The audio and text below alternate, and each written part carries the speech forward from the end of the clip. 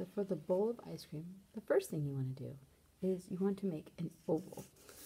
And you're going to kind of put it right here in the middle. I usually kind of do a preliminary drawing where I kind of move my hand so I kind of picture it in the air first before I put it down. And you're just going to put an oval. That's going to go right in there like that, kind of like a flying saucer. You want it kind of flat because we're going to be kind of looking into the bowl. And then you're going to start here at the edge, in this edge right here. And you're going to make a smile. So it's going to come down, it's going to hit it right about there.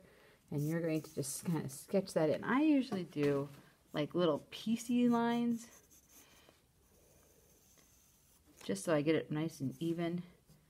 Sometimes I do multiple lines and that's okay and then I'll just erase what line I don't want. So for instance, maybe I don't want that line, so I'm just going to kind of clean it up. Um, just like that.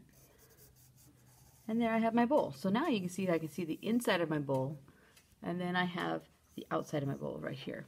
And then I'm going to put in ice cream. So when I draw my ice cream, I want to see just the top of the ice cream because the ice cream is going to sit inside the bowl.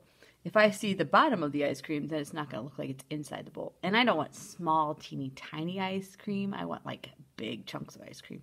So a lot of times what I'll do is I'll do kind of like a kind of like a upside down U and put that in and you kind of see you don't see the bottom of the because it's inside the bowl. And then I'm going to tuck another one right behind it. Of course, I want to make sure that it's inside the bowl. All right.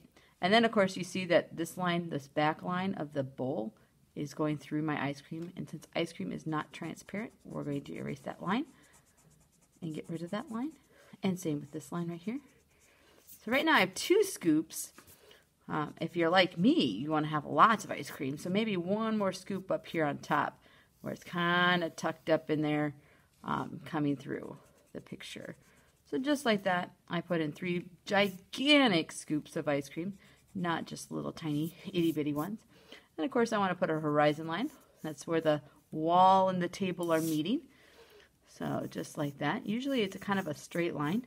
So this is going to be the wall now, and this is where the table is. All right. And then, of course, we will go into what kind of toppings do we want.